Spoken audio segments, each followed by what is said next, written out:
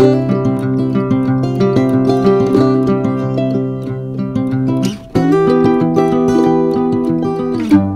guys, good morning. It's me again. Yeah, ah, yun guys. Grabe kagabi, bagyo dito sa amin. Grabe.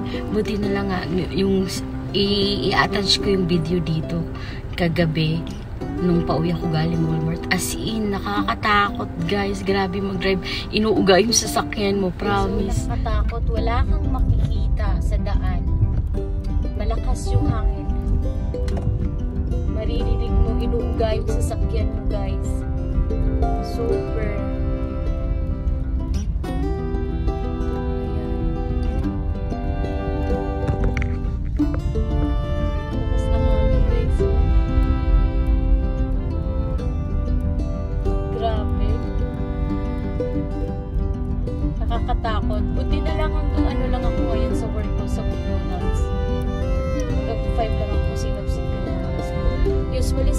Ako dumadaan guys eh. Kung sa ring road ako dumaan malamang inano na ako ng hangin. At hindi mo makikita yung daan.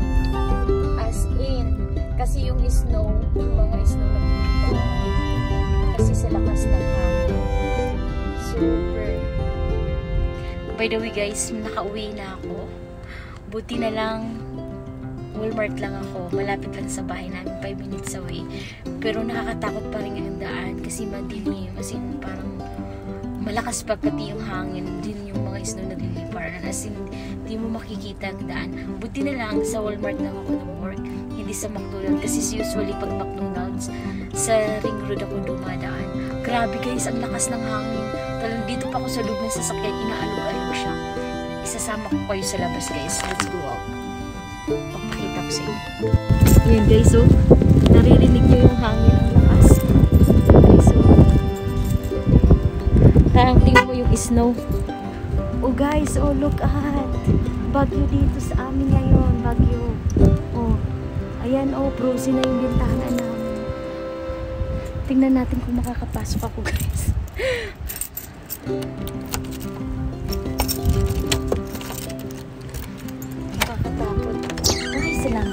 Ako. Ayan guys, oh, nakakatakot sa labas. By the way, ano na dito, 10.30. Super, diba? Ang lakas ng hangin, oh. Look, at outside. It's really scary. Look at, right? Oh my God, it's too windy. Look at that. It's like there's an ipo-ipo. A tornado. No, there not. There, there's none. It's really, yeah, it's no storm today. Snowstorm. That's cool. Look at the snow. Snowstorm, blizzard. So windy today. Oh my god. Let's go. Yan guys, oh, nakakatakot sa labas. May bagyo dito.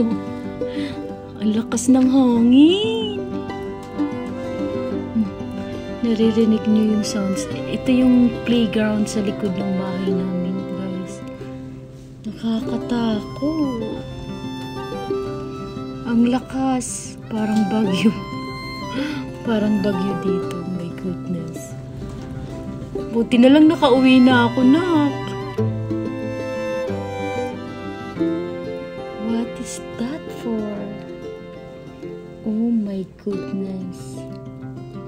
And brown out na dito sa amin. Pag usually ganyan kalakas yung hangin, pinapatay na nila yung kuryente. Akala nyo dyan lang sa Pinas, meron din dito. Pero ngayon lang, sa, for 5 years ko dito sa Canada, ngayon lang ako naka-experience ng ganitong kalakas na snow blizzard. Grabe, lakas talaga. Nakakatakot nito sa mga ano, yung highway. Dito ang tawag dito sa highway ring road. Tapos ipapakita ko sa inyo kung ano itsura ng bahay namin. Puno ng snow pati sa, ano, sa taas. Tingnan mo. Okay, guys, tingnan mo yung itsura ng bahay namin. Punong-puno ng snow. Kahit yung kapitbahay namin. Ayan. Tingnan mo nyo. Tingnan nyo itsura niyan. Grabe. Nag, ano, shovel na yung asawa ko. Kaya, medyo okay na. Pero tingnan mo, sabi ko nga sa sabi ko nga sa asawa ko, i-check niya yung likod ng bahay namin. Kasi ang lakas ng hangin talaga kahapon, baka may sira. So yun guys, papasok na pala ako. Isasama ko kayo sa pagdadrive hanggang sa makarating ako sa Mukdod. Ipakita ko sa inyo kung anong itsura ng daan. Sige guys, dyan lang kayo. So yun guys, alis na muna. Kasi malilit na ako.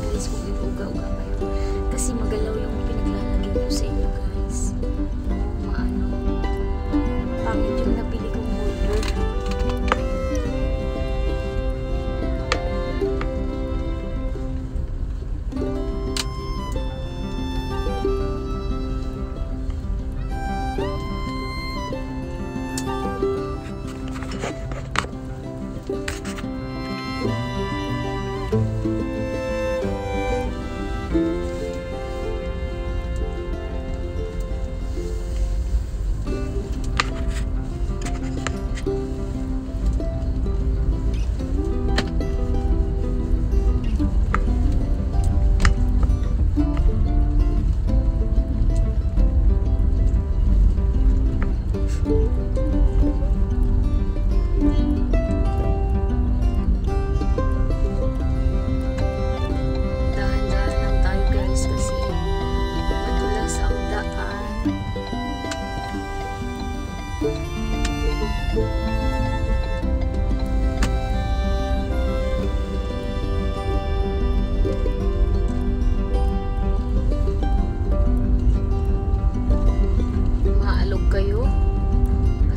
பார்த்தீங்கன்னா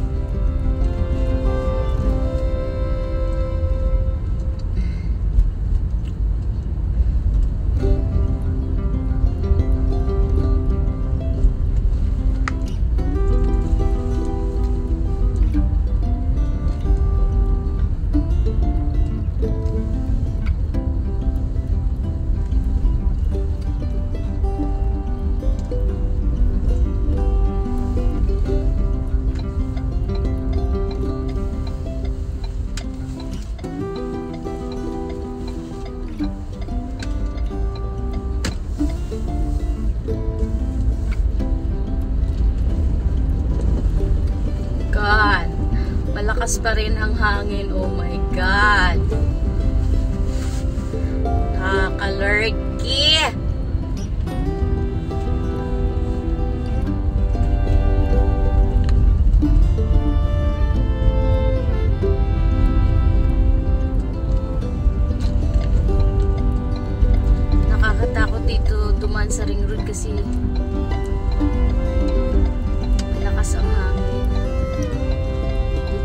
Sa ring road, yung sinasabi ko sa inyo. Oh my God! Oh, scary to drive here guys. Maririnig mo yung hangin.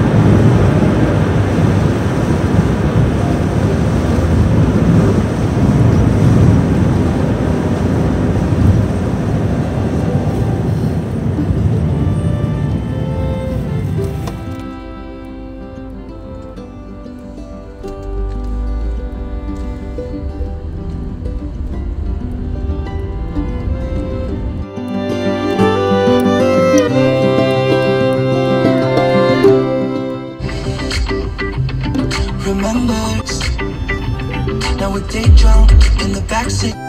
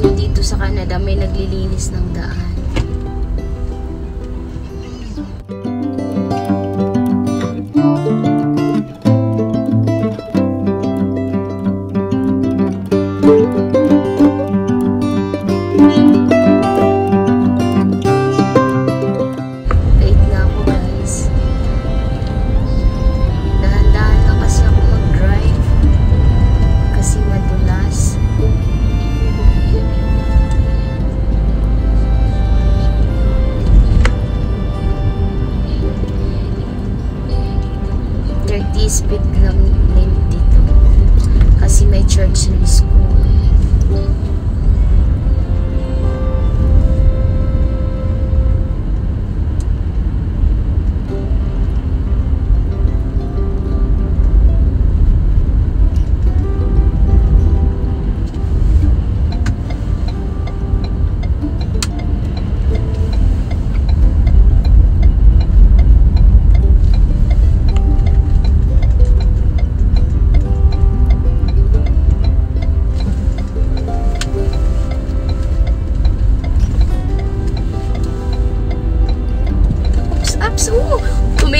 Tumitilapon ako, guys. Umi-slide ako. My goodness! Oh, kakatakot mag-drive. Slide pa more.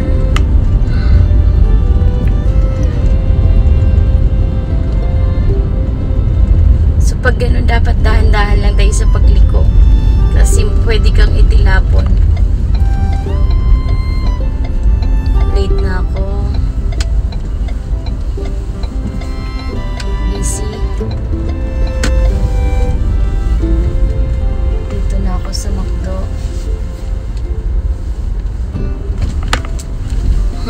Tingnan mo itsura.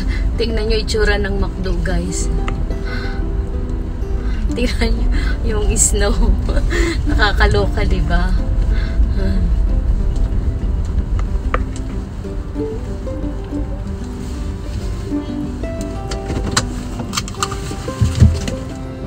So, dito na ako guys. Kailangan ko mag-mask. Pasok na tayo sa CDC. Hi guys, pauwi na ako galing work. So, titingnan natin ang daan pauwi kung okay ba. 7.33 p.m. na daw. Medyo malakas pa rin ang hangin. Tapos, nag-snow. So, yeah.